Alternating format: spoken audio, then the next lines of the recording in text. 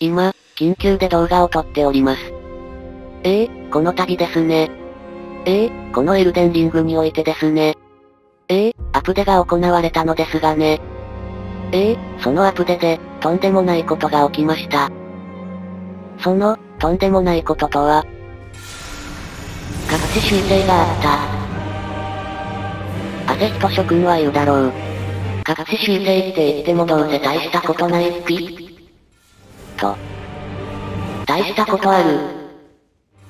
そう、大体、隠し修正というと、細かい誤字脱字を直したり、いわゆる、パッチノートに記載するほどでもない修正が多いのだが、今回の隠し修正は、めっちゃやばいのだ。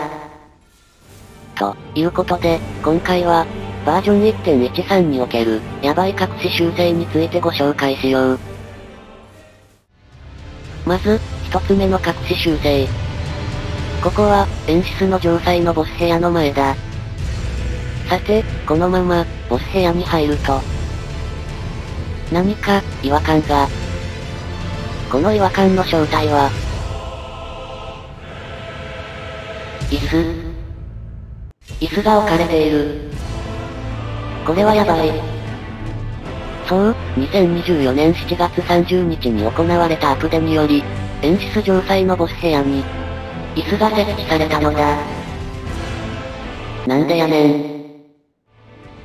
いや、これ、本当になんでやねんだ。この椅子、攻略する上で、特に使用用途はない。完全なる、飾りである。なぜ、今になってこのような椅子を設置したのか。はぁ。もしかして、考察する上で、めっちゃ重要な情報だったりそうだ、そうに違いない。ということで、軽く考察してみよう。まず、この椅子は、壊れる。強度はめっちゃ弱いみたいだ。この椅子は、座るためのものではなく、飾るためのものだ。そもそも、この部屋にいるのは、総付きの騎士レラーナである。レラーナの尻の大きさを考えると、まず座れない。さて、ここは、演出の月見場だ。月見場という言葉、どこかで聞いたことがあるような。そう、それは、狭間の地にある。王家の月見場。この場所は、カーリアの上官の中にある。新英騎士ローレッタと戦う場所だ。あ、そういえば。この場所には、あれがある椅子。レラーナのとこにあったやつと同じ。い、いや、まだ早い。まだ同じだとは、決まっていない。壊れた。レラーナと同じ椅子だ。しかし、ここの椅子、めっちゃ多い。レラーナのところには一つしかなかったのに、なぜか、ここには大量の S がある。これは一体、どういうことなのだろう。総付きの騎士の強く。英樹に刻まれた、蒼月の騎士、レラーナの強く。かつてカーリアの王女であった彼女は、成果を捨て、メスメルの傍らを選んだ。月の輝きが、その男を癒せぬと知っていても。メスメルの剣、いつか彼女はそう呼ばれた。そう、レラーナは、カーリアを受けを捨て、メスメルのために生きる道を選んだ。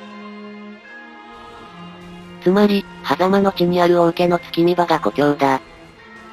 影の地にある演出の月見場は、その出張版みたいな感じなのだろう。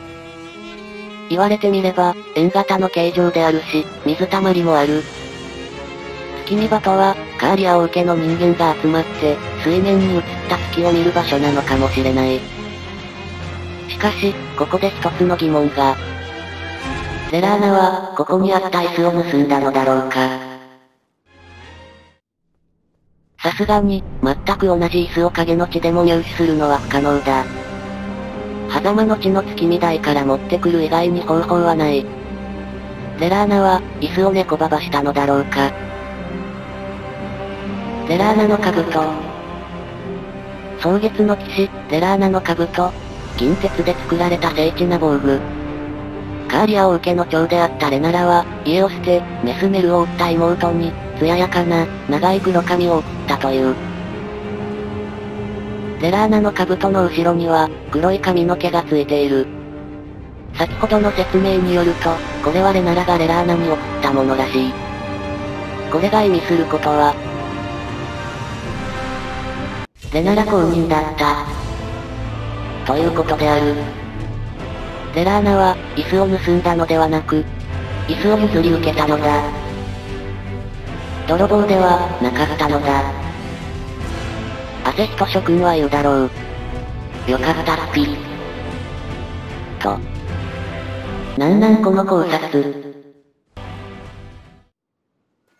なんかちょっと変な方向に考察がそれてしまったが、カーリアを受けにとって、月見場は神聖なものであり、儀式的なことをする上で、この水たまりと、椅子が必要になるのではないかと思われる。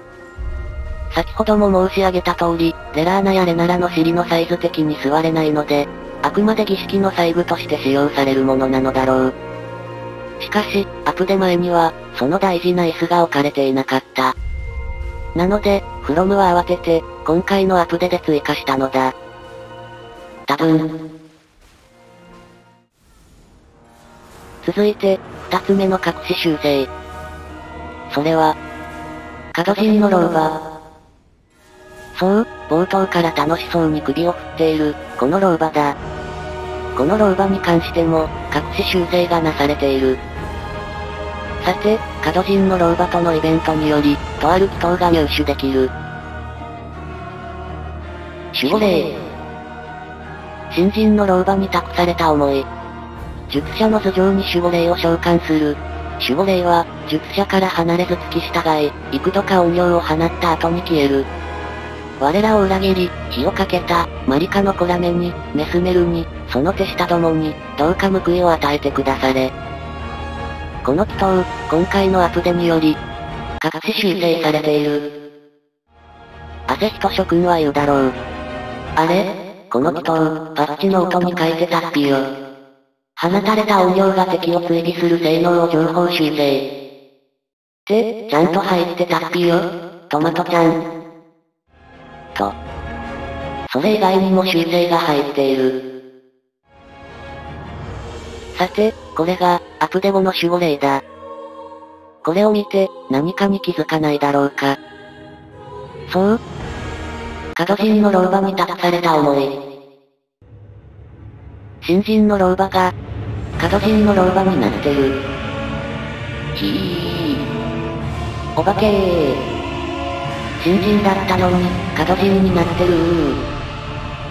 汗人諸君は言うだろう。お化けではないっぴ。と。いや、お化けより恐ろしい。